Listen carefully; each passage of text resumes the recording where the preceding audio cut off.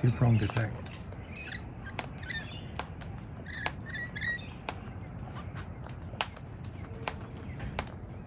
The question is how can they do it?